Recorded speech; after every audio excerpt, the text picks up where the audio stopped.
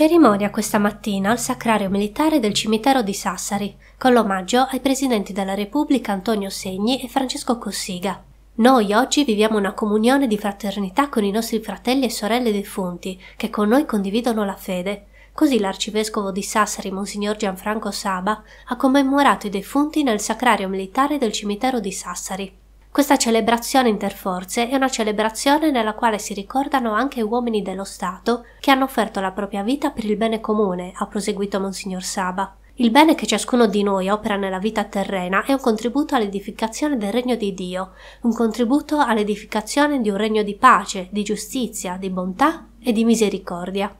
Al termine della funzione religiosa, concelebrata dal cappellano militare del Comando Brigata Sassari, Don Pietro Murgia, le autorità hanno deposto alcune corone d'alloro sul monumento ai caduti all'interno del Sacrario Militare e sulle tombe dei presidenti della Repubblica, Antonio Segni e Francesco Cossiga. Alla cerimonia, che ha visto schierato il picchietto d'onore interforze composto da militari della Brigata Sassari e dei corpi armati dello Stato, erano presenti le autorità cittadine, militari e politiche Mario Segni, Arturo Parisi, il rettore Gavino Mariotti, il presidente del Consiglio regionale Michele Pais e il prefetto Maria Luisa D'Alessandro, oltre alle associazioni combattentistiche d'arma e i familiari dei militari sardi caduti in patria e nelle missioni di pace all'estero.